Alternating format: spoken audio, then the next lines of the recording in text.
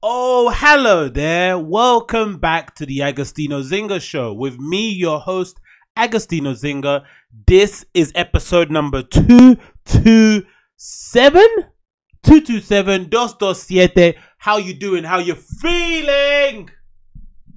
Hope you guys are well, rested, hydrated. Hope you guys are good. I'm feeling very fine, as you can tell. Mm, I've just eaten some nice bit of dinner because today I'm not fasting. I've decided to fast three days a week, which is, you know, Monday, Wednesday, Friday. I think it's probably the best to do stuff for me, in my own personal opinion. But I hope you guys are doing well regardless of that. I'm doing amazing. I'm doing fine. I'm doing good. Diet's going amazing. Working out's going amazing. Everything's going amazing. I'm feeling good. I'm feeling powerful. And I'm feeling ready to blow. Well, not that way, but you know, you know what I mean. But I hope you guys are good, man. Um, I'm coming in strong in a week again, like I said before, right? Actions are actions speak louder than words, right? I could sit here and be like, oh, you know, I've had this issue in my life, blah blah blah. It doesn't matter. Issues in life doesn't matter. When it comes to uploading, when it comes to clicking that little arrow button and uploading content, you just have to keep going and going and going. And this is what I'm doing right now, right here, coming at you live and direct, fresh off the plane, fresh off the boat. Talking about planes, actually. Talking about boats. Talking about trips. I'm going to Berlin soon, man. I can't wait. I'm so excited. I'm so, so very excited. You know how excited I am about Berlin? I'm going on Google and I'm rereading loads of articles on Berghain, on Berlin club culture, on just, you know, underground club culture, electronic music. I'm going back and rewatching loads of video interviews from Seth Troxler to Ricardo Villalobos to Richie Hawtin to Carl Cox, not Carl Cox, fuck Carl Cox, to Jeff Mills, to all these other people. I am going in and I'm going and re- and rewatching, rereading everything that made me so in love with this scene in general because I know that Berlin and the Berghain is only a few weeks away. I just honestly cannot wait. You don't you don't understand how excited I am. This is like my yearly thing that I do all the time, and I'm gonna continue doing it now until I grow old and grey. I think I'm just gonna keep going. I think I mentioned before a couple of years ago I went three times in one year without even realizing I'm gonna be smashing it out again. I'm probably gonna go again before the end of the year. Fuck it, just for a little trip. Because again, like it's so cheap, man. That's the thing. These kind of trips are so so cheap. You don't have to spend that much money. Um, you can probably leave after Friday after work if you want to, and just take the Monday off. Um, because obviously, if you're gonna go to Berghain, it, your best bet is to go on a Sunday, right?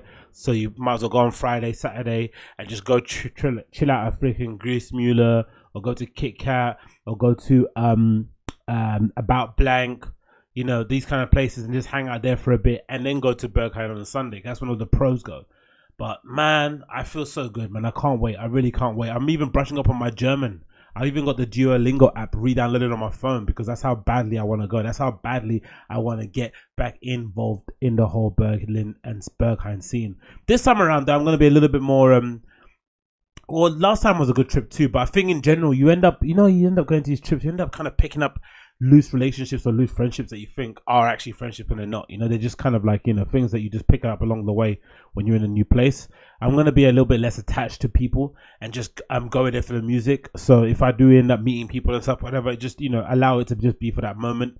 That's something I sometimes do struggle with at times. You know, you, you, you have a great moment with someone, you have a great time, you're hanging out, you're going to all these fucking, uh, uh spatties and whatever, spatties, however you pronounce it you're going to these random clubs. They're taking you to these random restaurants and these all these cool places and amazing doner kebab places and falafel joints. And then you think it can continue, right? And you pick them up again the next year, and it's like you get air. You're like, oh shit, I thought we were friends. No, you're not friends, man. It's just you know you met somebody out on a night out and you had a bit of fun. That was it, really. It's not something that you can continue to hold onto like it's an actual friendship, and that's what I tend to do. You wouldn't imagine it, right? Looking at me, you wouldn't think I was that kind of person, but I tend to do that kind of thing a lot, which you know probably accounts for why I've got nearly 15,000 Facebook friends, right? Why have I have so many Facebook friends? Because along the way, along, you know, along my travels, when I'm out during the night or when I'm, you know, on holiday and shit, I tend to pick up friends at Pokemon cards, right? And then I tend to hold on to them like a loser, you know? It's fair enough having a Pokemon card and, you know, collecting stuff and, you know, having a little passion, but you don't collect, you don't hold on to that shit until you're in your 30s, do you? That's a bit weird. It, does that person exist? I know that Pokemon has a bit of resurgence. People are reselling their Pokemon cards, but usually because you regretted selling yours. Like I had loads of really good ones that I could probably bend or threw out when I just got over Pokemon. But was there a guy that exists that just kept holding his Pokemon from when he was young? That's mad commitment. I can't hold. I'm a hoarder, but I don't. I can't hold that long. But anyway, that aside, yeah, I'm really looking forward to Berghain Can't wait. It's happening in a couple of weeks, and that's it for me. Update. What else am I doing? Oh, on Saturday, I'm playing a little private party though in Dalston, so there's no point even talking about that because you guys won't be able to come. But I'm DJing at a little private um, members club in Dalston for someone's party. I'm not sure who the person is, but um, that should be fun.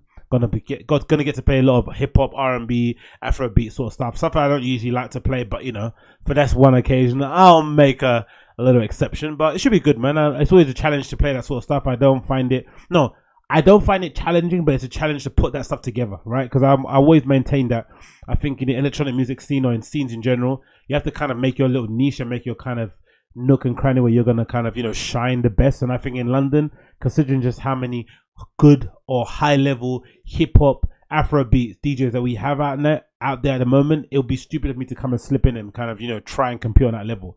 I think I need to go on another route, whether it's house, disco, techno, um, you know, Afro house for that matter. That's where I need to be. But the Afro beats, hip hop scene, there's some fucking killers out there. Even even a, even the UK funky scene, you know, the UK funky DJs out there. You, just, you know, just mention fucking DJ EZ and the whole conversation shut down.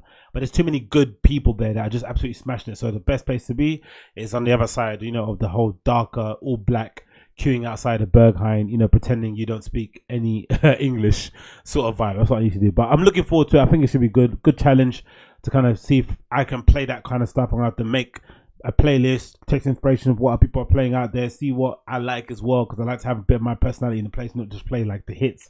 That's one thing I used to annoy when I used to go to hip hop parties in London. Um, you'd go to these hip hop parties and they'd just be playing the same shit in a row, right? Back to back tunes or back to back styles. It was never fresh, never new. And it was annoying because I think that's why I tended to like um seeing um Craig Wade, CWD, one of my um good friends who's kind of a great DJ. I recommend you go check him out, right? Craig Wade is pretty sure that's his name on Twitter too. Um he was the only DJ we had in London. He was not even he's not even a he's not even a British dude, right? He's from Australia and he's he's fucking smashing it here, right? And he was the only guy that used to play like actually like he he's the only guy who used to play new stuff. So if a new I don't know, Chief Keef mixtape come out, you for sure you know he's gonna be slap, he's gonna be slipping in the banger during a rave, right? He wasn't afraid of playing new stuff. Whereas all these new dudes were just always playing the same old old shit, you know, no names mentioned, but you know what I'm talking about, and it just got a bit stale. And I think people probably moved on. I'm not sure what those people do nowadays. That kind of crowd that used to go to those hip hop parties. I won't mention their names because I don't want to put anyone under, under it, but I wonder what they're doing now for nights out. I wonder what those guys do. Maybe they don't go out as much as I do because you know I kind of committed myself to the nightlife scene in general, especially with the underground electronic scene. But I wonder what those guys do for parties and going out and shit. Because, you know, don't want to be in a bar where the DJ playing the same shit you used to listen to when you used to go to fucking, you know, um, I don't know, marketplace or whatever, right? You want something a bit different, a bit fresh, but I don't know. Maybe it's still the same. Maybe it hasn't changed. Who the hell knows?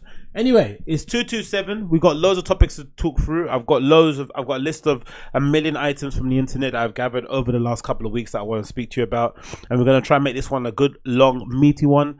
As per usual, you know we're available now on YouTube, so check that out if you're listening via the podcast app. If you're on a podcast, if you're on the YouTube, check out the podcast app. All the links will be in the description for you to subscribe and all that malarkey. If you're watching via YouTube, give me a little thumbs up if it's your first time. Leave a comment. Let me know what you think of the show and Let's get into it.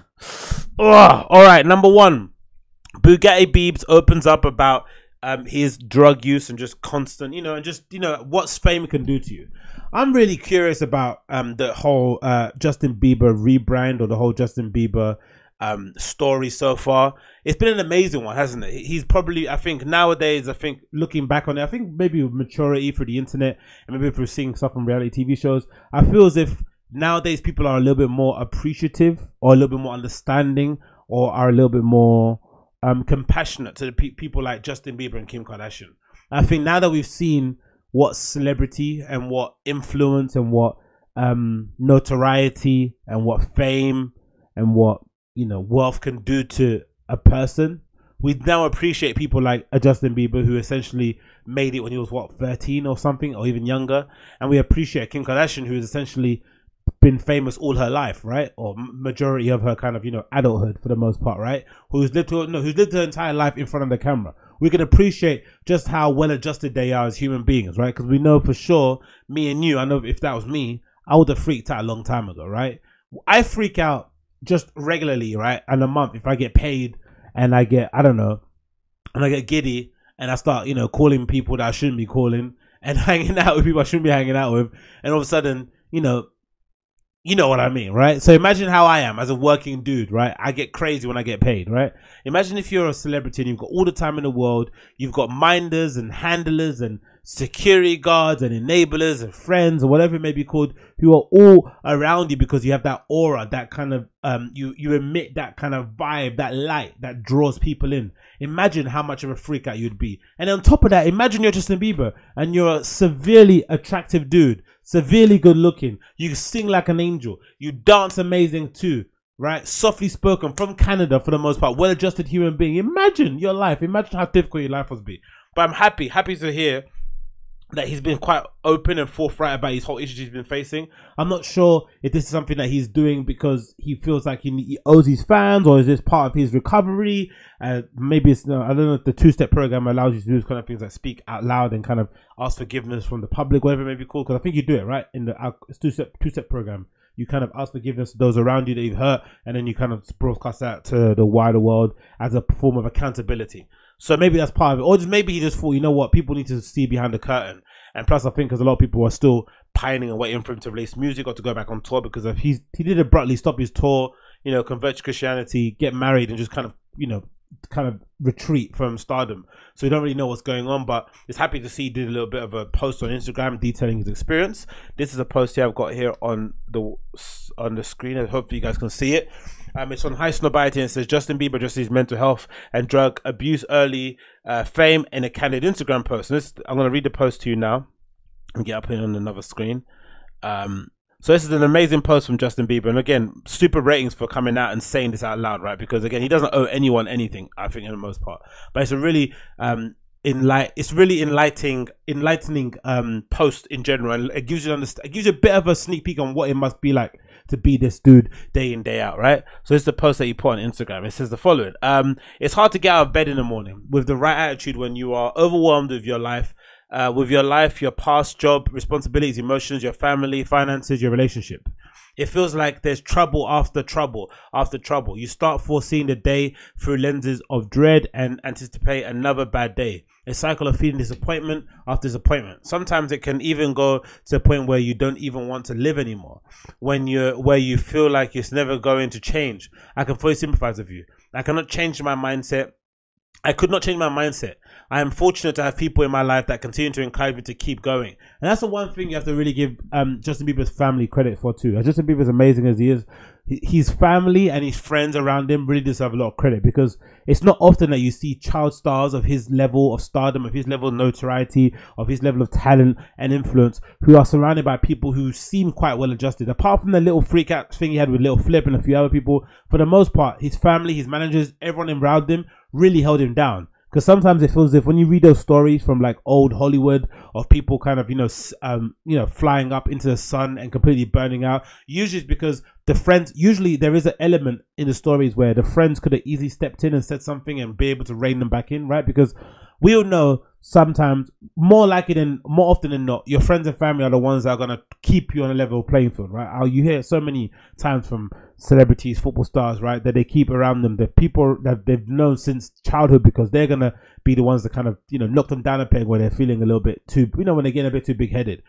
but sometimes as well, you know, because you're paying those guys rent, or you're in, or you're you you've kind of changed their circumstances, or you know you're you've got them around you to just roll weed or whatever, and just you're paying them your, own salary or whatever. It doesn't. I can't blame the friends too for being a little bit of a sheep and not kind of you know standing up and telling your friend, hey, you got to chill out. So to have friends in your circle who are not afraid of maybe getting excommunicated, because it happens a lot too, right? Celebrities, when they get called out of their shit and they kind of get exposed by their friends, they can sometimes retreat and push everyone away and then no one can help them. But for Justin Bieber to, number one, be receptive to the conversation, be receptive to constructive criticism, and for his friends to have the courage to say it to a mega superstar like him is really, really big look. And I think that's the real key to it. Like, it's people around him. People would say, "Is the people around people around you?" No, in his case, there's the people around him that save his life for sure. Because if if not, we know how the story could have ended. Um, I'm fortunate to have people in my life that continue to encourage me to keep going. You see, I have a lot of money, clothes, cars, accolades, achievements, awards, and I was still unfulfilled. Have you noticed the statistics of child stars and the outcome of their lives? There is an insane pressure and responsibility to put on a child whose brain, emotions, and frontal lobes, decision making, aren't developed yet. And that's true, right? I think a guy's frontal lobe isn't developed until they're 28. I think women is like 25, right? And that's your decision sense making part of your brain. So when you see young dudes freaking out and acting a fool for the most part, like there's a common trope, right? You see of like girls having these really intelligent, really intelligent thoughtful, deep conversations around the dinner table, around a table, around a bar somewhere, and then the next scene you cut across a, a, group of boys just beating their chest, burning themselves with a lighter, and just acting a fool, right? That's because usually guys have not matured that well, right? In the frontal lobe, right? The decision making process hasn't matured that well, and guys are gonna be guys. Now imagine that pressure on a dude, not on a dude, a child, and he's got the entire, you know, he's essentially looking after a whole group of people. That's the one thing I've noticed a lot when I read or listen to entrepreneurs, the one thing they always speak about is that running a business isn't just about running a business and ensuring you make profit and whatever it may be. The most the most stressful part of running a business is the idea that you're essentially looking after all these people. You're paying their rent you're essentially paying their mortgage. You're essentially putting their children through school. So that same amount of pressure of knowing that these people are depending and counting on you can sometimes ebb away at you, which is why the biggest, you know, the most successful entrepreneurs would say that entrepreneurship should be treated like athletics, right? Some people are made for it, some people aren't, because that's where the real pressure is. Because probably, for the most part, most people could run a successful business if you've done the education and you did the homework and you had enough money to kind of, you know, do enough experiments, quote unquote. But to actually be able to manage people to get them to cajole them around an issue or to around a product, around a service that they did, they, they, they hadn't invented. They're not really that passionate about, but to get them to do it with all their might and also to have that pressure on you day in, day out is something that I would not wish on anybody, I would assume, let alone a, a kid, a teenager, right? Um, the, the, no rationality or defiant rebellious things all of us have to go through. But when you add the pressure of stardom, it does something to you that is quite unexplainable. You see, I didn't grow up in a stable home. My parents were separated when I was eight. Um, were eight were 18 separated with no money still young and embarrassed as well as my talent progressed and i became ultra successful it happened within a strand of two years which is very true right he went from singing in his bedroom to suddenly being on ellen within a space of two years which is even you know a longer period of time considering like you know look at someone like six nine right he's obviously going through what he's going through but his kind of rise was essentially what most kids want, right? He went from being a complete nobody to suddenly getting collaboration with Kanye West and having an album with Nicki Minaj on it, right? Like just insanely successful. Um, by 20, I made every bad decision you could have thought of and went from one of the most loved and the most adored people in the world to the most ridiculed, judged, and hated person in the world. Being on stage, according to the studies, is bigger dopamine rush than almost any other activity. So these massive ups and downs of their own very bad to manage. You notice a lot of touring bands and people end up having a phase of drug abuse, and I believe it's due to not being able to manage the ups and downs that come with being an entertainer. Of course, man. Imagine what that must feel like being Justin Bieber walking out to an arena of 30,000 people screaming your name night in, night out, right? And in the background, you've got this internal turmoil, right? It's like an absolute, you know, thunderstorm erupting in your mind and your soul. Then you've got all your family problems, your friend problems, what people you grew up with, media, gossip, whatever it may be called, TMZ cameras outside your van. Wow, man. Um, I feel I could never. Uh, I started doing pretty heavy drugs at 19 and abused all my relationships, which we were obviously, you know, we're aware of from the outside looking in. I became resentful, disrespectful to women, angry. I became distant to everyone who loved me, and I was hiding or hiding behind a shell of a person that I had become. I felt like I could never turn it around, and it's taken me years to bounce back from all these terrible decisions, uh, fix broke relationships, and change relationship habits. Luckily, God bless me. Oh, I got pause it for one second.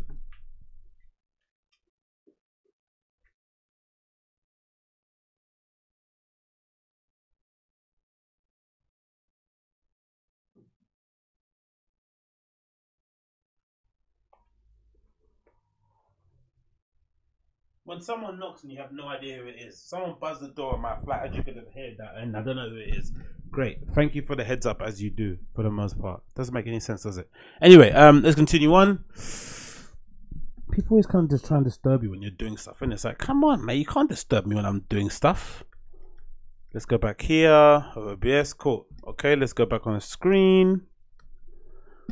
I was hiding behind a shell of a person. All this to say, even when the uh, the odds are against you. Keep fighting. Jesus loves you. Be kind today and be told uh, today and love people today, not by your standards, but by God's perfect, unfulfilling love. So again, a really wholesome message from um, Justin Bieber. Again, I wish him nothing but you know a clean recovery. Um, that journey is going to be a long one. Um, I'm sure he's feeling pressure from the fans to kind of get back on stage, but this is when he needs time to really recover and really um, repair himself from all the damage and the stress that he's taken over the years. And in general, too, I think the more time he's given, the better his story will be when he comes off. When he comes out of it from the other side, and if he doesn't have to come out of it the other side and compare himself, then so be it too. But I think in general, we want our biggest stars, our most influential stars, to be um, well adjusted, right? We've lost enough amazing entertainers over the years to not have this issue kind of repeat itself again and again and again. This is not what we need. So yeah, um, congratulations. To, well, congratulations to Justin for being so brave to point that stuff out there from the first place. Because again, he doesn't owe anyone an explanation. But if he wants to, then fair enough. I completely understand where he's coming from. Okay, next on the list here we have. She said, "What?"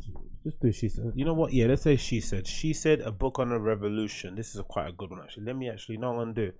I'm going to get up here and actually close this door just in case no one comes up again. Bear with me one second though. Don't anyone buzz in my door once more because that's annoying.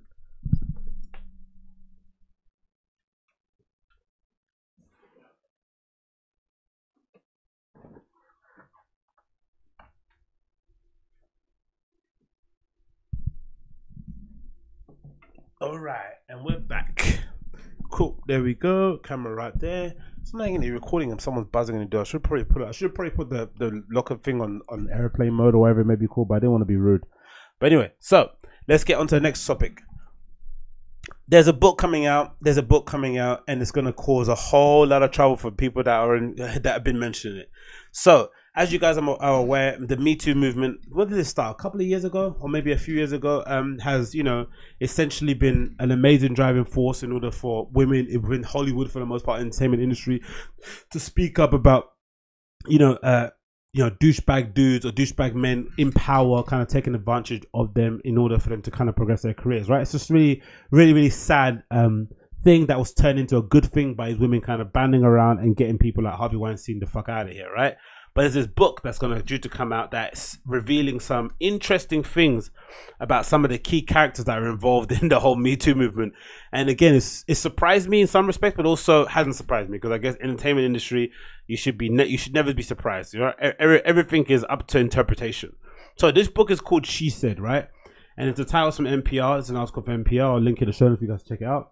She Said is a book by a Jodi Kantor and Megan uh, right? And uh, uh, and here's here's the piece from NPR, which is really interesting. Um, they wore parkas to meetings or two pairs of tights. They traveled in pairs. They feigned phone calls and hid in bathrooms. They said no.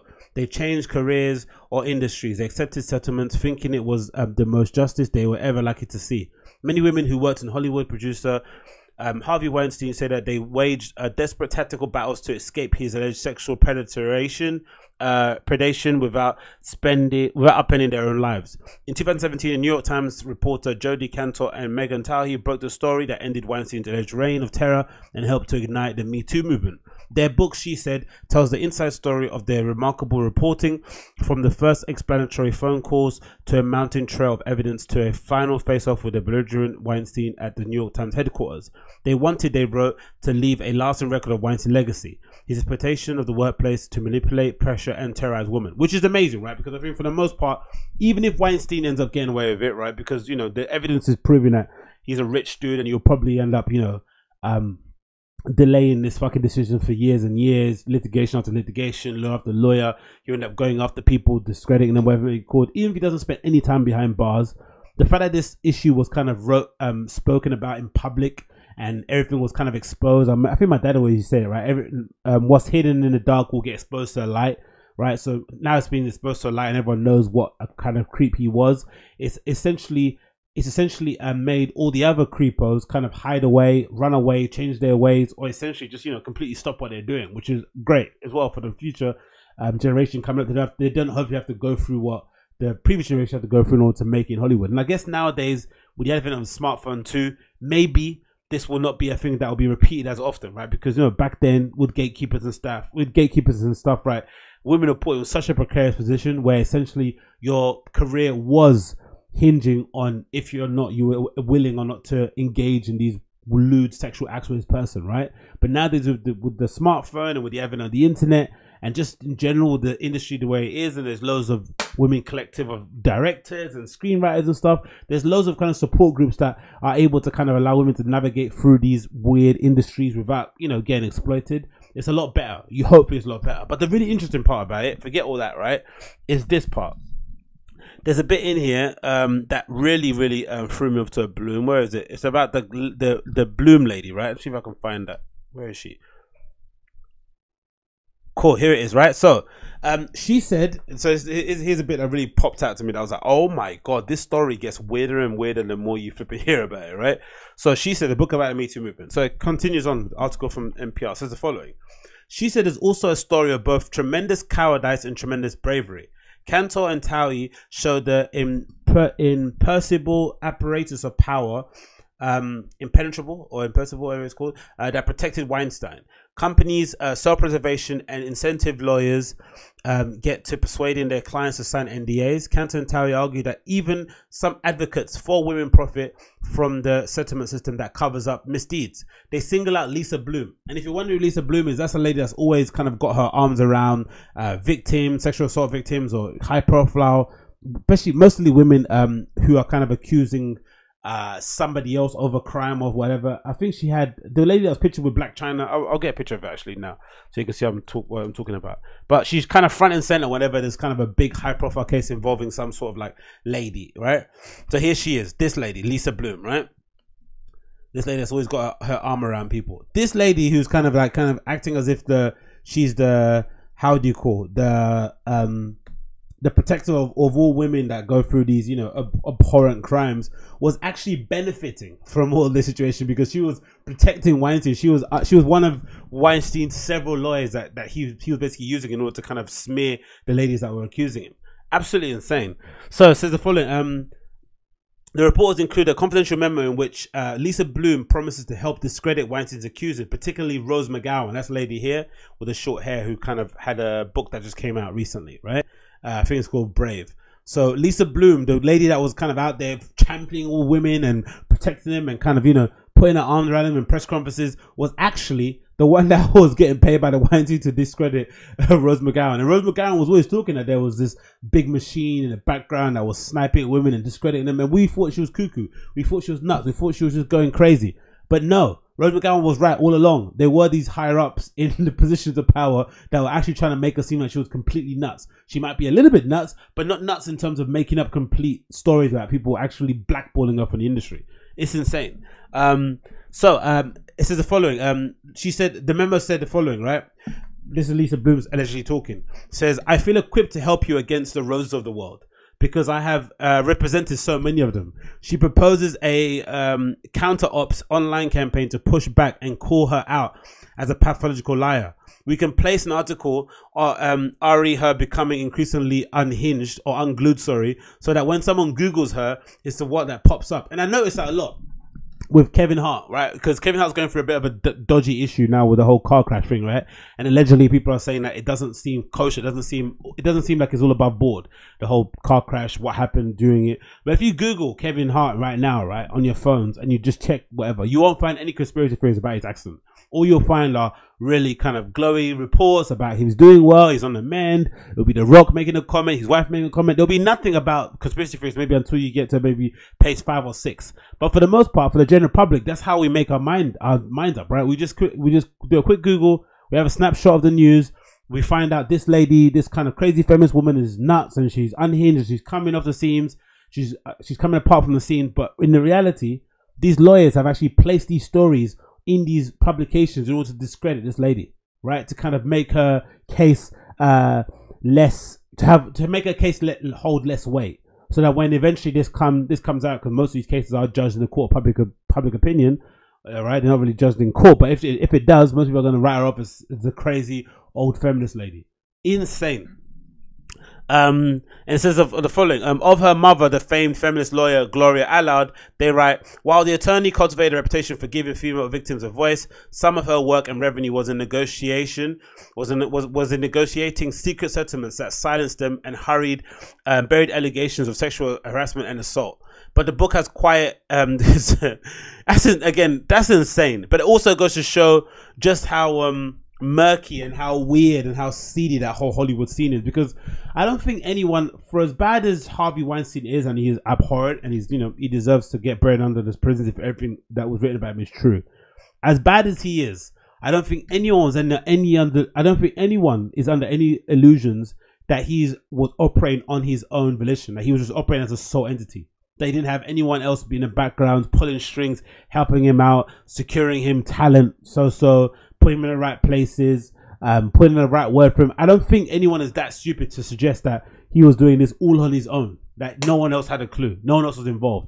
We know they were involved. We know they were higher ups. You know, if you listen to all these comedian podcasts I listen to, they were saying that you know there were rumors about Harvey Weinstein from a long time ago, right? And people were saying you know if you had your friend, a female friend was going to see him for an audition or whatever, you'd go along with them, right? As kind of as a chaperone, just to kind of make sure things are okay. It was a it was a kind of a well known secret that Harvey Weinstein was a bit of a creep, allegedly, right? So it's unlikely that he would operate in that industry, which is very small, very gossipy, and people weren't aware or people weren't enabling him in no sense. But you wouldn't have guessed it would be someone like a Lisa Bloom. You wouldn't have guessed it would be somebody that stands next to a Blac Chyna at a press conference when she's suing Rob Kardashian and is like, I'm going to help her out. She's a good. You would expect someone like that. You expect it was, you know, an agent or a manager, but not Lisa Bloom.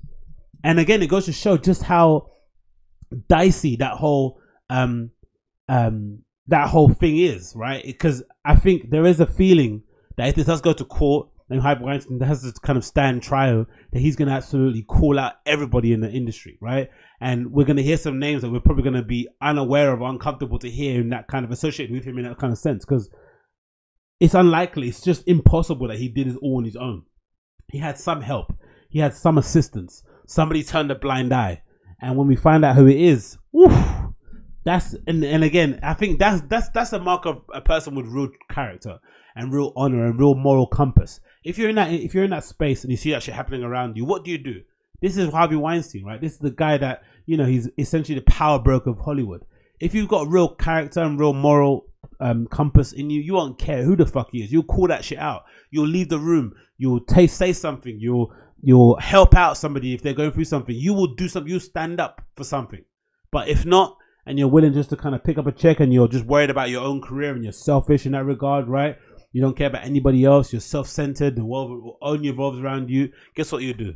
You conveniently just stare at your little prosecco glass, your little prosecco flute, and kind of hope that the situation goes away. But it doesn't go away. Everyone's going to be accountable for it. Everybody. It seems like everyone's going to be accountable for it. And again, I think in the future it's good because what it shows now is that kids nowadays, you know, you're to have to be a bit of a doofus to get put in that position again, right? To get to have a dude kind of get you in the change room in a fucking bathrobe reading lines. No one's gonna have it anymore. Even the most naive of girls is not gonna have it. They're gonna be like, "What? No, I'm not gonna do that." Do you know what I mean? And that's the benefit of it. But what a crazy story! I'm definitely gonna check out the book.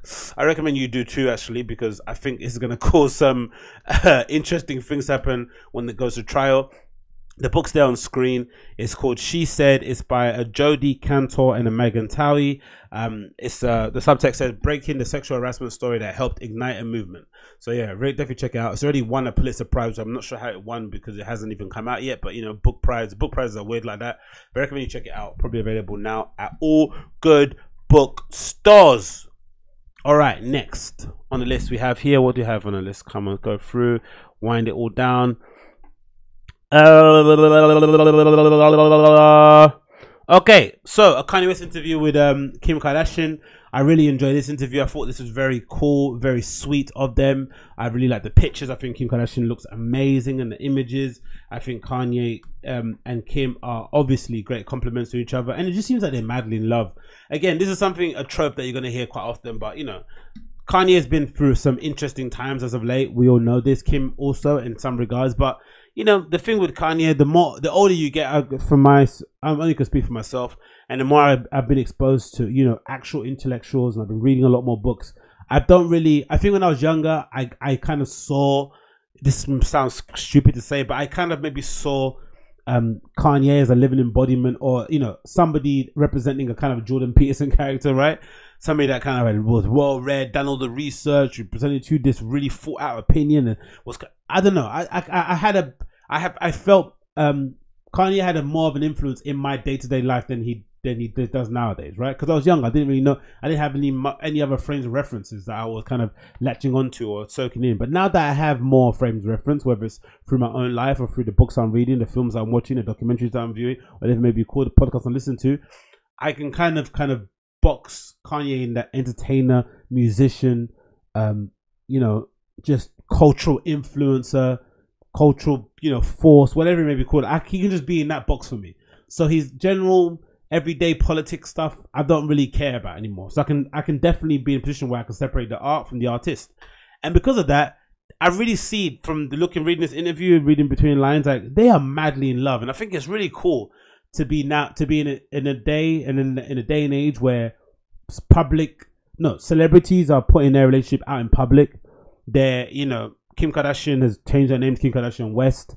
It's a very kind of traditional kind of thing. They have they have a big family. They got four kids right? They put them front and center, they put them front and center on social media, which I'm not really a fan of, but you know, everyone's got their way of doing things.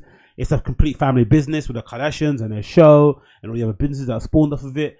I really like that this is the era that we're in, right? So much so that the younger kids coming up want to have girlfriends, right? They want to have relationships. Lil Durk being a good example of it, right? He wants to have a girlfriend. He's showing off his girlfriend he's on and off with on social media all the time. People are looking to like get married, look, getting to getting to have kids. Um, when someone gets divorced or splits up, it's a big deal, right? It's oh my god, I can't believe that happened. Before it was like a it was like a bit of a comedy show, a bit of a circus. People were just laughing at them, thinking, oh, how long is this gonna last? But now people are rooting for people's relationships, right? They want people to stay together for longer and whatever it may be called. Look at PewDiePie, right? Good example of that too. Like there's great it's a great era, I think, nowadays for that because the example it's shown to everybody else is so amazing. Like there's not that many there may be a few, but there's not many high level kind of like playboy type characters are going around smashing everything that moves, right? And if they do, they're not really looked at as heroes as they were in the past, which is amazing too. It's a good development. But again, I think this story is a good example of it. Kind of essentially just completely giving Kim Kardashian the floor, allowing her to take front and center, and him just kind of asking some really cool probing questions. The whole interview is really cool. I, I, I recommend you really check it out. Loads of great candid pictures, loads of stuff about how um, loads of um, insights into how much Kim appreciates Kanye's influence in her style and everything, which I thought was really sweet. Um, oh, this thing really, really stuck out to me as well about the law. Kim Kim Kanye asks her the following: Maybe you underestimate how other people see you. I think other people are expecting someone else. Um, Kim Kardashian says the following: but misconceptions, for example, my mind is so focused right now on law school. There is some misconception that I don't really have to study, that I bought my way into getting to a law degree. That's absolutely not true. I have put in just as much time as everybody else. I work same amount of hours that they're required by law, and I have to write essays, take tests, and actually pass them. There are no shortcuts. There is no easy way out, which is amazing, right? Because if you look at, she's got more money than God. She can, you know, she doesn't need to do this. And I think in general, maybe it's because as a society we're maybe asking more from our celebrities and our icons and our famous people. But i don't really think that's true. I think there's enough famous people out there not doing anything and just enjoying their riches. Um, but it's really commendable that she's willing to step into the fire into the ring of fire and put herself forward for law school. Because if she fails what happens then right? The, the all the haters that are out there that want them to fail will be out with their daggers and shit in that, imagine she's kind of you know driving for the the prison reform, freeing loads of people. She freed that. You know that the first lady she freed. She, she featured her in her in her Skims um, editorial. She's now doing a law degree in order to kind of further um, help these people that are in prison for um, non what's it called it what they call it non non for I forgot it's called like non offensive kind of charges like just stuff that you don't need to do if you're Kim Kardashian. I know for sure if I was Kim Kardashian, I probably wouldn't do it. Right? She's a much better person than me because I think if you if I think if you came if you started off as an everyday person and you got to be as famous and rich as her, then maybe I'd understand it. But she's been quite well to do, pretty well off, middle class for the most of her career, right? Surrounded around those kind of Hollywood industry people. So for her to now suddenly come come down and uh or to come down from her kind of high horse per se and and adopt some sort of civic responsibility is really commendable, man. Honestly, super commendable. I really do. I really do rate her for doing it in general. I think it's something that people would look back on. Again, these people, I think we're always going to appreciate them when they're gone. Unfortunately, they look back and they think, "Wow, she didn't need to do it, she actually did it." Um, so the following, da, da, da, loads of cool pictures of them together, which is really sweet. You can even tell they're looking at each other, they love each other to death. Um, some people say fame is addictive. What are your views on that? Kim Kardashian the following. I do agree that fame can be addictive, and it took me a long time to recognize how lost you can become when you put so much focus on it. People often ask me, money or fame? My focus has always been on success, and with success comes money. I'm at this place now where I'm not concerned anymore about fame. But if you would have asked me 10 years ago, I probably would have said that fame and money were equal importance. My focus has shifted a lot, which is true. I think everyone in general has as well. I think you've seen it a lot on social media, even with influencers there has been a bit of backlash around influencers that are obviously going for the money, right? I think the influencers that usually do the best, that have the kind of best fan reaction and kind of have the most influence and have and are really pushing um, that whole scene forward are the ones that are able to just do what they do well to a really good level and then the money follows, right? But the ones that are just, you know, chasing the views, chasing the money, accepting anything that comes along their table are usually the ones that are kind of derided by everybody else. And again, that's short lived because that's not something that can last, not something that can scale either. If you're Kim Kardashian West and you've kind of suddenly decided to pull away from the fame, which you can probably capitalize on tenfold, and decide to kind of go down this route of actually building businesses and helping people, um, whatever it may be called behind the scenes, in the scene, it's just amazing. Again, really, really commendable to see. This is an article from Vogue Arabia. I'll link it to you again in the show notes if you guys to check out if you're interested. But again, really cool interview. Kim Kardashian, Kanye interviews Kim. Some really good pictures too. I recommend you check that out. What's next on the list here? Let's make sure we are free. Listen to this shit. Um, oh, Virgil Abloh's taking some time out, man. Um, I, uh, what you call it? Wishing him all the best and all that malarkey. But this news broke, I think, last yesterday or last night. I saw it pop up. Um, so I guess all of that hard work, all of that effort that he's been doing over the years has finally up with him. I think for the most part, there were a few people I would, a few, few people, no, I wouldn't say a few people. Let me just take it off the screen now. One there maybe there are some people out there that are kind of rejoicing at the fact that he's kind of you know taking some time off but which is kind of you know if that's you then you need to kind of give your head a wobble and you're an absolute sicko if that is the facts but hopefully not. I think most people are appreciative of just the amount of what he's been able to do but virgil abloh has decided to take some time off. He's not going to be attending any of the shows. I think in Paris, right, for Off White and Louis Vuitton. He's gonna take a few months off to kind of you know rejig and then kind of get back. I guess designing for Fall Winter 2020 um, which kind of makes a lot more sense in general. But yeah, man, um, the hardest working man in fashion is finally is finally caught up with him, and he finally decided to take some time off. An article here from Vogue that kind of details the whole experience. Um, and those all the Virgil Abloh has taken a few months off and will not attend his Paris Off White show. Virgil Abloh, the famously busy founder of Off White and men's artistic director of Louis Vuitton, a guy who flies internationally eight times a week, is officially slowing down. I'm shifting gears, he told Vogue over the phone today from Chicago. In August, he explained he was having a harder time than usual, um, bouncing back from the overseas trip. I was just tired, so I went to the doctor. Ultimately, he continued, everything is fine, but the doctor told me this place uh, you've got yourself pushing your body to fly all these miles to do all these different projects is not good for your health. Abloh declined to go into specifics about his health issue, but did say that his doctors have advised him to not travel. Essentially, I'm going to work from home for the next three months, and in large part, all my marketing events I'm cancelling. That includes public appearances with IKEA and Nike and participation in Vogue's third annual Forces of Fashion Summit, as well as a November opening of exhibition Figures of Speech at the High Museum in Atlanta. So again, a really cool um, um, end to kind of a really cool end to that kind of story. I think in general, because you know it's not often that um, designers or celebrities or people of notoriety take on doctors' advice. Right? You can hear what doctors say, but you just think, you know what, fuck it, you, know what you're talking about. I need to keep hustling. But again, I guess it's also an interesting uh, thing situation to be in because I think there is this there is this assumption that I got this feeling right when he was really not with him. Let's say Arianna Huffington, right? Yeah, Arianna Huffington. This is the way it comes into.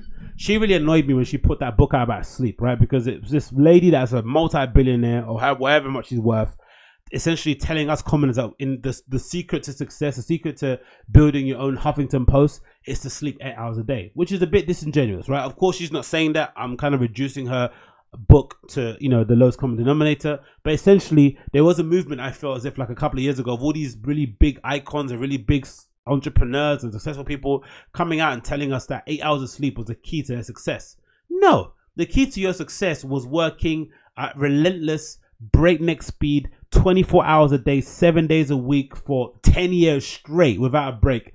And then when you reach that level that you wanted to, you start taking eight hour naps because you can, right? You've got more people around you that can do the jobs that you you don't you what you are doing all on your own. You have minders, helpers, assistants, companies. You have structures, processes set up that are able allow you to kind of sleep for eight hours. But when you're Virgil, when you're screen printing t-shirts, when you're printing 23s on the back of rugby flannels and flipping them for however much you're doing, when you're designing album covers, helping out Kanye, um, whatever it may be called, interning at Fendi, you need to work at the level that he's worked to to get to Louis Vuitton. He couldn't have got to Louis Vuitton. He couldn't have got his brand off white to level that's been to now without working this hard. Yes, it's kind of hit the wall and he's kind of hit his kind of quote unquote Truman wall and there's a kind of recalibrate. But this isn't the time to kind of look at it and say, oh, you see now the pressure of the industry means that people have to take more time. No, the industry is the industry, right? Karl Lagerfeld, one of our biggest icons, passed away unfortunately recently, and he was an he was an absolute workhorse, talented, influential, uh, mercurial talent, one in a generation. Yes, but at the heart of it, he worked hard until the very last day that he passed away. I think he's even got a story about his great grand being a ballerina. Was his mum being a ballerina and she kind of wanted or a dancer and someone said, "Oh, when will you retire?" And she said, "Oh, I'll retire in my studio, right? I'll." She she her dream was to kind of like kneel over and die in her studio while she's working, right? That was the actual dream. Like I'm doing what I love. This isn't work. I want to I want to die where I'm most I'm most at peace. Um, so for Virgil to be in a position where he's finally having to hitch that wall, it makes sense. But it's also a bit of a cautionary tale for the youngsters coming up because as much as people might rib on him for his designs being a bit reductive and a bit copy pasty and not well done and whatever may be called, you might not like him, not like his personality, people hang around with, you cannot deny that the only way to reach the level of success that he's reached within this short period of time too, because think about it, it's been a long, you know, he, he will say 10 years he's been in the game, he's done his hours, but essentially he's been able to blow or to be as successful he's been into, what, maybe in the last five years, maybe in the last six years, that's kind of like to go from you know, a well-known streetwear dude to the fucking leader of the new school in fashion. To to to make that kind of run and to achieve what he has to achieve, he's had to have done this. This is this was the natural end. This is what had to happen in order to get to that level. So again, it's a cautionary tale for those of you kids out there that are like, oh, I can do what Virgil does. Oh, he's not he's not good. He's not talented. Okay, cool. Take his seat. Do that, right? Because I'm sure part of the reason why this also got stressful was all the collaborations. I think balancing Off White and Louis Vuitton you know, as a brand is difficult. Don't get me wrong. But then when you add on to the fact that he's like the master collaborator, right? Anyone who's anybody that he thinks is talented, he will want to associate himself with, make some cool products with, capture collection, whatever it may be called. That's probably what ran him down the ground. And then when you add on top of that, he's DJing, right? He fucking DJed at Coachella. He essentially did a, an entire summer, an entire summer residency in Ibiza, right? Which is you know, you only have to listen to a couple resident advisor exchanges to hear how difficult it is to DJ in Ibiza during the summer, right? How the amount, the toll it takes on you physically and mentally. This guy's designing for two big fashion houses, right? Um, a, a storied and well regarded and you know a very prestigious job in Louis Vuitton, and also his own brand that he's also built up to this insane level. And on top of that, he's DJing, and on top of that, he's collaborating. Like, and on top of that, he's giving speeches, he's organizing retrospective um, art exhibitions that he's going to take on tour. It's insane the amount of work he's done over the years. But again, I think it's the only way he would have been able to land this Louis Vuitton job was to do this. But also for the industry overall, maybe it's a good thing too for the industry to say, you know what? How far are we willing to push our designers? How much? How far are we going to take them? How far are we going to push them over the edge until they get reach the breaking break? They reach a point. They reach a breaking point. We have to realize. Um, look what happened to John Galliano. John Galliano essentially blamed that whole entire freak out with his weird anti-Semitic, anti-Semitic views when he was kind of being a bit, you know, a, a, little bit nasty in that cafe in Paris. He blamed it because of fatigue, right? A bit of exhaustion, right? He got pushed to the brink. Hedi Slimane, right? Same sort of thing too. Like, how far do we want to push our designers? How far do we want to push these people? Because essentially, they are the ones. Because like in all industries, right? There's the top five percent of people, or the top one percent, maybe top five or top ten percent of designers out there who are really pushing it, who are really setting the tone for trends, fashion, whatever it may be called, right? They're the ones setting the pace. We need those people around. We need them. We don't need to be pushing them to the edge. So again, industry, will it take a hard look at itself and kind of change tack? Probably not. Because there's loads of designers out there who are more than willing to able to you know to work under their desk and ungodly hours and running stuff into the ground. But you know, after watching the Alexander McQueen documentary and just seeing how much he put himself through and what the industry did to him and what it turned him into, how he's affected his friends and family, I don't want to see that happen to anybody else. So if Virgil has to take some time off to relax and to get his mind back right, that's okay with me. And if it means he comes back and he's a whole different person and he's eschewing a different sort of mentality, a different sort of message, hopefully he doesn't come out and start talking about eight hour sleeps and meditation. Hopefully he's able to tell people, look, if you want to be as successful as I am, right? Because I think people have weird delusions of grandeur about their um, level of ambition doesn't match their effort. I think Gary Vee talks about a lot, right? You want to be a Virgil, but then you work two days a week. It's like you can't do that. You have to be moving. You have to be moving as much as he is, or maybe more. So I feel hopefully when he comes back from this um from this break, he's able to kind of delve into it and say, look, I reached a certain point in my career where I'm able to do all these things on my own and fly around it, but there has to be a point where he has to be able to rein it back in again because there are some people, some good critics actually, that were saying that that was part of the reason why some of his designs were kind of suffering. His collections weren't as good because of the DJing stuff. Right, he was too distracted, um, which makes sense, right? I think even in MMA, they say a lot, right? In MMA, they always say like, you know, the moment the fighter starts appearing on TMZ and doing loads of media stuff and doing a podcast and just running around doing anything but training is a moment they're gonna die. Because whilst you're out there, you know, out on TMZ talking about whatever happened in pop culture, your opponent is in the gym training, right? That's what they're doing. They just they're just on that heavy bag. Boom, boom, boom, boom, boom. So imagine in design, right? Or imagine in fashion, the same sort of thing in the creative field, right? Whilst you're swanning around at some sort of press junket, DJing in the middle of Ibiza, playing at Coachella, playing at Burning Man, uh, doing a collaboration with IKEA, that kid, that designer is at home just crafting, crafting, honing their craft, pattern cutting, stitching, putting stuff together, draping, uh, finding ideas out for new lookbooks and new photo uh, editorials. They they are expanding and honing their mind so that when it's when it's game time, they're ready to go. So maybe that is part of the reason too. He needs to kind of you know. And again, I, I'm pretty sure you know designers only have to take a, a week off and then as soon as they come back, you see the amount of energy and the amount of new ideas they've got. So I can only imagine what three months is going to do. Three months, he's going to come back on fire. So again, um, hope he gets well soon. Hope he's um, able to get back on his feet and things go well. And then, yeah, we see a completely different Virgil. We see maybe a more focused Virgil. We see a Virgil that maybe is able to kind of delegate a little bit better. Um, but also see a Virgil that's able to tell the kids, look, if you want to be me, if you want to get a Louis Vuitton job, right, you have to do this. This is what you have to do. Now, you know, it might have cost him his men- his his sanity for the most part, but sacrifice has to be made, man. How bad do you really want it? Right? That is it. It's all well and good getting the ten thousand hours in, but how bad you really, really want it? There we go, man. There we bloody go. So yeah, get well soon, Virgil. Hopefully he's on the mend. Next we have here Alexa Chung and the Berghain. I haven't watched this, right? So I'm gonna watch this directly with you guys. Um, I absolutely detest Alexa Chung. Nothing about her is um, cool, interesting, or funny. But I'm sure this video will bring out some sort of emotion in me, and I'm sure you viewers will get a lot of satisfaction out of seeing me get annoyed with this lady speak about what she's going to speak about. Now, supposedly there's something involving a Berghain in this, which I'm going to be annoyed about straight away because my hello turf. But let's see. Let's give her a chance. Maybe it's not as bad as we think it's going to be. Um, and let's uh, play it, right? Let's see what she's got to say. This is a video titled Alexa Chung Style Challenge 5 Looks in 5 Minutes from her website.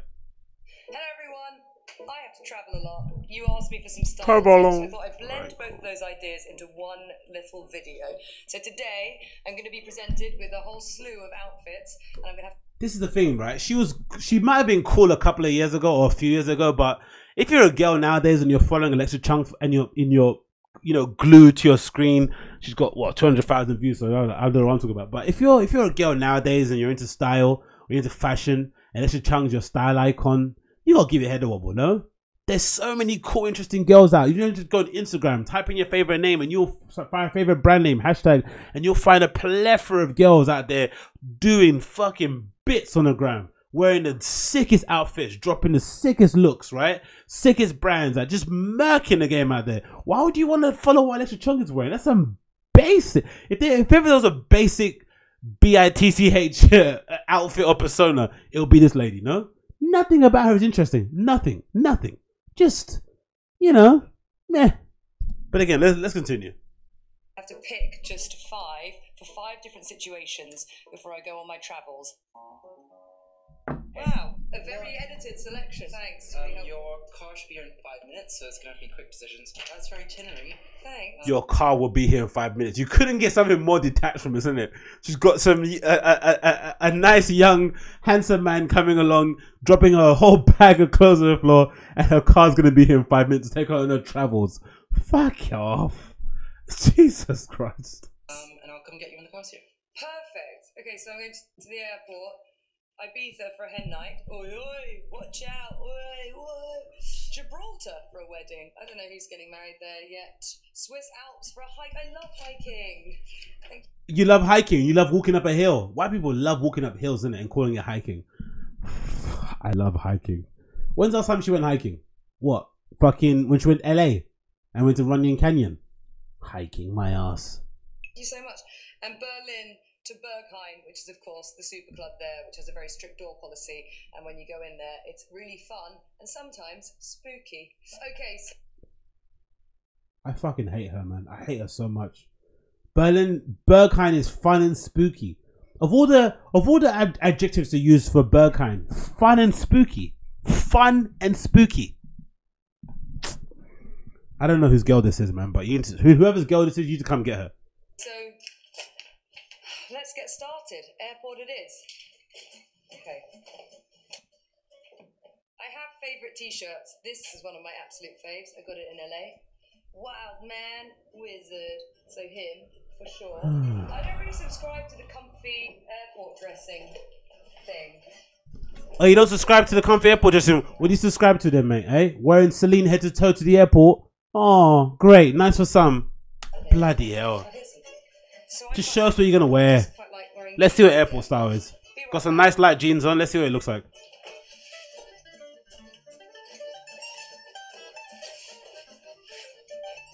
Oh, okay, and Let's fast forward a little bit. This is so boring.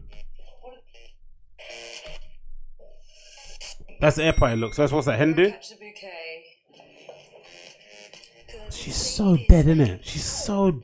There's just she's got no sauce, like no sauce. That's it. She's lacking any sauce. It's all well and good doing the whole like you know kooky white girl thing, but she's got no sauce. There's nothing about her that's interesting. Zero.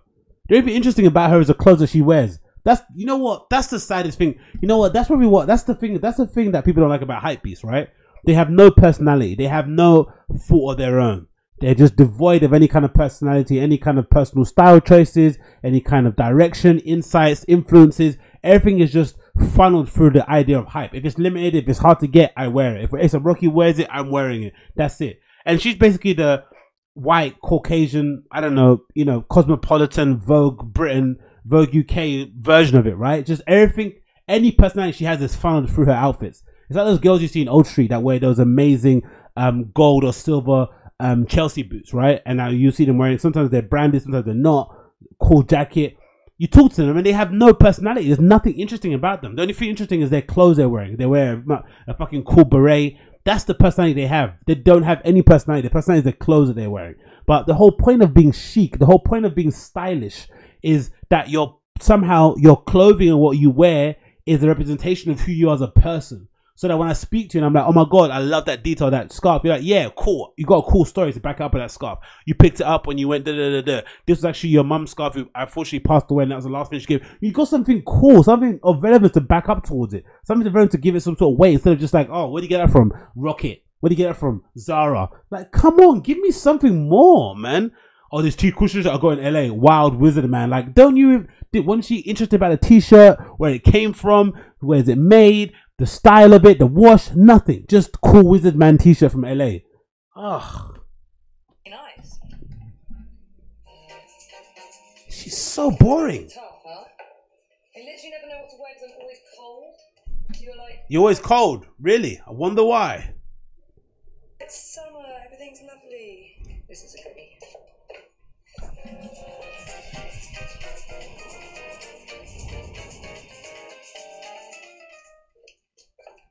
goodie.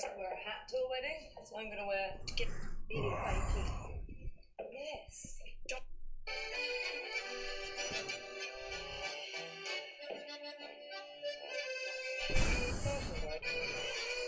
She dresses like such shit. Like it's just so boring. Let's see what a Berghain outfit's gonna look like. This this is her Berlin Berghain outfit. Let's see how dead this looks. Berghain. Okay, Berghain, Berghain, Berghain. Berghain, you're actually meant to wear black too, I think, but I don't think we've got anything. I think. Have you ever been there before? Why would you not know that?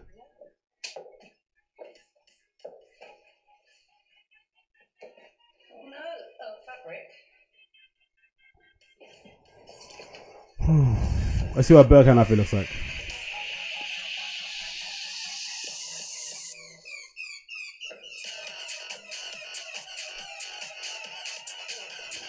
And even and even the fucking music they put in the background of this. This this is the music they put in for, for the Berghain video. It's like something you might hear at fucking Tomorrowland, right? God almighty. That's her Berghain look. Yeah, that's what I'm wearing to Berghain, guys. This girl's a waste of time, man. I don't know what. I I just wasted five minutes of my life watching this fucking garbage. She is trash upon trash, isn't she? Like it's again, but credit to her for still being relevant and still being around in 2019. Someone like Alexa Chung nowadays with the amazing influencers and YouTubers that we have now, or that girls have to choose from, to still be paying attention to her. You must be really about this like boring Ladbroke Grove, Notting Hill, I don't know, um, Chiltern Firehouse life, man. This is what you must be like. If you're still about that life, then fair play to you. But I need, I need my, I need my influences. I need my um, muses or style icons have a bit more source to them. She's just sourceless. She's just like the opposite of Kate Moss, isn't it? Like just devoid of any like. Why would you even care what she what she wore as an outfit for a week? Why would you care? Kate Moss though, you'd be interested, right? Why would you care what she has to wear? Why? And Kate Moss is fucking could be old enough to be a mum. Ugh, terrible. She is terrible, man. She's so boring. Just so so boring. Like it's just insane how boring she is. But again, it's not her fault. I wasted my own time on that one. Sorry about that, guys. But yeah, if I'll link in the show if you guys check out if you want to see it yourself. But Alexa Chung style challenge, five looks in five minutes. I don't know who else has to do this. She's got all the views. People care about it, so you know maybe I'm in the minority here. Ba ba ba ba da ba ba. Talking about Berghain, I'm going to the Berghain. They'll I'm going to the Berghain. They'll I'm going to Berlin. I'm going Berlin. I'm going. Well, I'm going to Berlin. Hopefully, I get into the Berghain. Right? I can't assume and I can't go. I can't be so cocksure that I'm going to get in. Hopefully, I get in. Fingers crossed. But I was just checking online. I was like, oh, people were like, oh, you all wear black, all wear black. I've never. I think I've worn black maybe twice when I've gone there. The other times I've worn colors. I've had like a red jumper on, a blue t-shirt. Like I've I've mixed up. I'm not always worn black. Um, but and when you get in there too, you see loads of different outfits. No one's just wearing black all the time. But I saw this um little Pinterest board because I was like, oh, I wonder what people put up on Pinterest about outfits for Berlin or for Berghain. And they got me thinking, okay, cool. Now it makes sense why people always think the black is the way to go. Because just taking a quick look look at this Pinterest board, right? Not even in depth. It's a Pinterest board called "What People Wear to Get into Berghain," the world's most exclusive nightclub. Pretty blatant to see. And look at it, just like a quick glance. It's all black essentially all dark colors. No light colors at all. Everything is dark. Dark, dark, dark, dark, dark, dark, dark, dark, dark. Look at it. Insane, isn't it? Like everything is black. There's no light colors at all. I was like, oh, okay, now I get why everyone says you have to wear black to get in there. Some of the girl looks are fucking incredible. They're really nice, actually. I like this girl's little um with the ripped shorts and shit. But yeah, everything is black. The whole thing this is a more of a common look you'll see when you go to Berghain. I know I've seen it a few times I've been in there. The sort of like fishnet tights. Um, um, what do you call that? What would you call that top? I don't know. This is yeah more of a common look. I really like these pants too. But yeah, just made me laugh looking there. I was like, okay, cool, man. I guess they're right. It is actually all you know black and all the same sort of thing looking wise for the most part. Um, but yeah, loads of cool style outfits, looks there, stuff that I'm obviously not going to wear. I don't have the legs for that kind of look, unfortunately, right? It's a girl wearing some fishnet tights and some massive buffalo shoes, which are really popular. I've seen too. Whenever, whenever I check the, I'm always checking the uh, Berghain um, location on Instagram just to check what people are posting you don't really get in much because you know you like to take pictures inside Ber- Berghain, so you don't get much. You just get some people recording audio from their f- i from their phones for the most part. But if you check the Berghain location on Instagram, you will see the same sort of thing there too. You'll just see loads and loads and loads of outfits in black, basically the same sort of kind of you know thing that you basically see on this Pinterest board. Let me get up here for you guys to check out. Hopefully, you guys can see this. All right. So on here, to go on there, what you'll see is just like, look, look at that, tons and tons of black as I'm scrolling through. This is just from clicking, type in basically location, type in Berghain Bar or Berghain Panorama Bar, and you'll see loads of girls and boys wearing black. And another big um, move from the whole Berlin Berghain scene, as you guys have maybe found out, or if you don't know, supposedly they're moving away from stamps. So the Berghain stamp was, you know, one of the most legendary things you get when you get go into the Berghain, right? You queue up, you get past event, you pay your ticket, you get searched, you pay a ticket fee, you have a sticker of your phone. But the most important thing that you'd love was a stamp you'd get, right? And the stamps always changed up. Nowadays, I think, or as of maybe a few weeks ago, I think they had um the, a stamp with a faggot on it, right? There was a stamp on your arm, which was quite cool. People were posting it up, but it seems like they've made a change now. Now they're going to have these wristbands similar to what you'd get at a festival. The kind of wristbands that have like the two-sided sticky tape. It has the price on there, the date that you bought it on the wristband already. So I think that helps them with knowing who come in and what day you arrived and whatnot. And there's also a change too because it's going to be a five euro re-entry fee.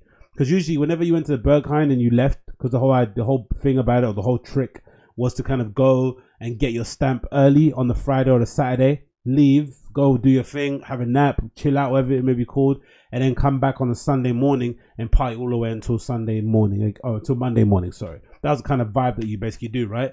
Um, but now they've changed it, switched it. So now everyone's wearing wristbands. It's wristbands only, which I'm, you know, not a fan of because I want the stamp. But again, you know, things have to be made. And the re-entry fee, I guess, for managing a club of that size and the amount of people that come in there, is such an easy money maker from them, and also is a good way of maybe uh, herding the crowd and ensuring the people that are coming back in are actually coming back in for the right reasons, right, and not just coming back in to be a fucking lager louts. Because I'd imagine it must put them in a weird position when they already stamp somebody and you have to kind of let them back in again, right? But maybe the paying might thin the crowd. Maybe the paying might help with the queues because especially if you already paid your ticket and it's free to get back in again, the queues are probably a little bit insane, especially this summer. I feel as if this summer was an insane time for Berghain. Like it seems like every time I was looking online, there was just a make loads of pictures being uploaded of massive queues, people waiting outside. So maybe that's part of the reason. I'm not too sure, but yeah, um, the Berghain has now switched to wristbands for the most part. So if you're gonna go Berghain and you're looking forward to getting a stamp, unfortunately, no stamp. Wristbands only, as you can see here from a lot of pictures, people's videos. I've, I've, i always get the fucking pictures. Someone's boomerang that they've got to.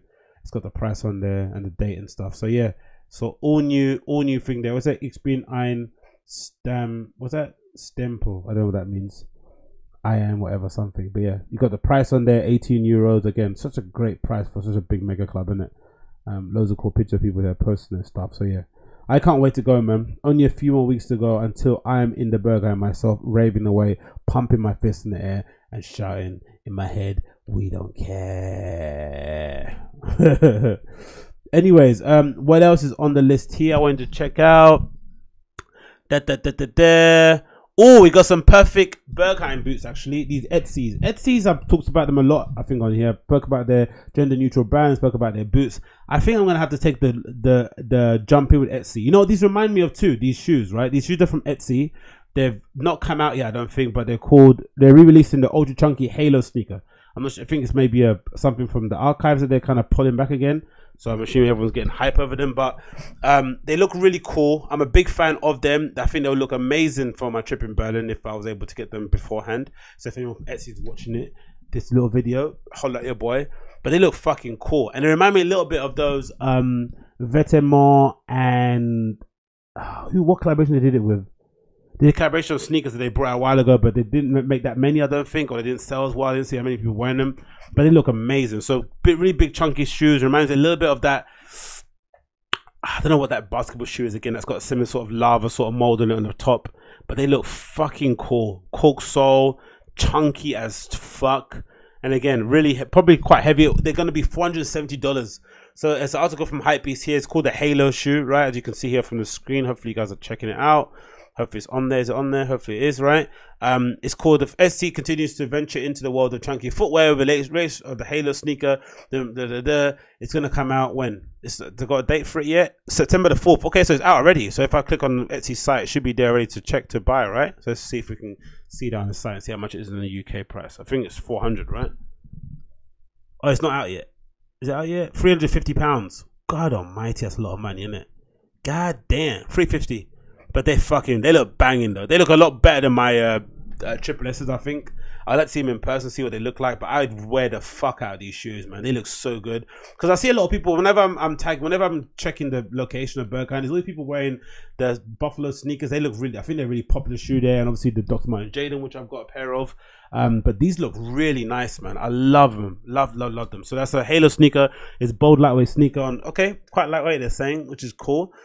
Uh, it's got a, a Phylon midsole with jagged outsole, um, accentuating its uh, otherworldly silhouette. Features a distinctive square toe speed lace system and nylon hooks.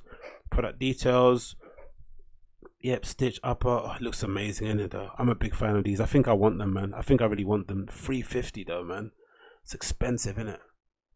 Expensive for well, they're expensive for a, an Eytys shoe, but not expensive for like a designer shoe, right? Because that's still a good value. Like what Triple S is going for 600, 700 quid, right? Speed races probably about the same as these. Um, Acne trainers don't go for less than 300 for the most part. Um, Comme des Garçons play, I don't know, Converse, which are not, you know, again, I'm just saying trendy, fashiony shoes. These are really good, I think, for the price. Again, if you like that kind of style, I'd probably get these other buffaloes because they look a bit more different and they're a bit, you know, a little bit more unique. Something you won't see a lot of people wearing. And the buffaloes, are, again, I'm not sure the buffaloes. I like, I like the overall shape of them anyway. These look a little bit more of an athletic shoe. I love the outsole, I, and again, I just love the shape. Look how flat looks at the front. They look incredible. I'm a big fan actually. I quite like these. And again, you know, remind me a lot of the, the arch here are those Pradas that Jaden Jaden Smith wears a lot. It's got that big, massive arch on the sole too. But yeah, I'm a big fan of these. Um, the Eytys Halo is available now, so I recommend you check it out. 350 on the Eytys website. Probably get. I'll probably a size 44 in case you're watching someone from Eytys. I'm a size 44. Hold out your boy. What's the other colorway there? Oh, in grey too. Oof. They look bad. They look good. They look good. They look fucking good. Wow, I like them so much. And they got that square toe that all their shoes got as well. They look fucking bang. I look, oh, it's good. Oh, it's a pulley. Okay, cool. I see it. It's a pull system. Pull is like um like the Jordans um Jordan sixes, like zip tie basically. That's a cool. I like that. Yeah, these are a really cool shoe. Recommend you check them out. Really nice. Eytys Halo sneaker available now at all your local Eytys retailers. So, um, I think that might be it. You know, that's it for the show. Gave you an hour and 10 of content. Thanks so much for tuning in as per usual. If you're watching this via the YouTube app and it's your first time, give me a like and a little subscribe. That'll be go a long way in terms of making people find the show and all that malarkey. If you've got any questions, leave me a comment in the comment section. If you're listening via the podcast app, for those of you that left a review, I'm really grateful. For those of you that haven't, please leave me a five star review. Let people know how you enjoy the show so people can find it and discover it. That's how the algorithm works. And yeah, that's about it. I think for now, I, I mentioned before I'm DJing on the weekend on Saturday, but unfortunately it's just a private party, so I can't really publicize the address. But if you're desperate and you really want to have a good time and come out, just send me a little message on the old email, and I'll get back to you and let you know what the location is. Uh, but apart from that, I'll see you guys again tomorrow for an episode of the show. Tomorrow I'll be back again, and until then, take care, be safe, and I'll see you very soon. Peace.